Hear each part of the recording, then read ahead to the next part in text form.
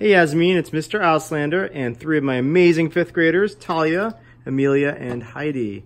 And these three students are studying sea turtles and um, all the great things you Skyped with us. They took lots of notes and they are making a presentation to the community all about sea turtles and how, how we can help them.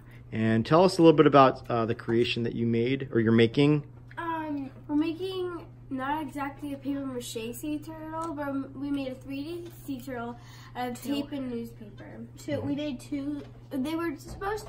They're baby sea turtles. One is more like a teenager, and one's more like mini baby. And then Um, we made a game board, and we Well, we're still making it, but Yeah. we painted the base and it looks like an ocean.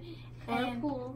Or a pool. And so the community, when they come to learn about sea turtles, some of them will play a board game that you created about sea turtles, right?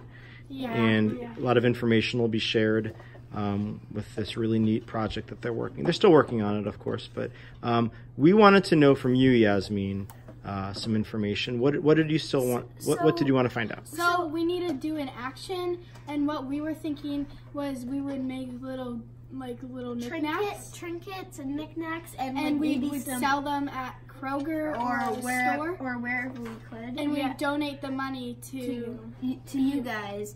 But we were wondering, actually, do you would you like our donation or Yeah. Do you need money, or is there more things that that these girls could do to help your mission of helping the sea turtles? That's really our big question. How mm-hmm. can these girls help you? Um, and so I'm going to make this long video into a YouTube link so that I can share it with you. And then if you want to just respond and let us know, let these girls know how they can help, that would be so great. Thank, you. you. Thanks, Thank Yasmeen. you.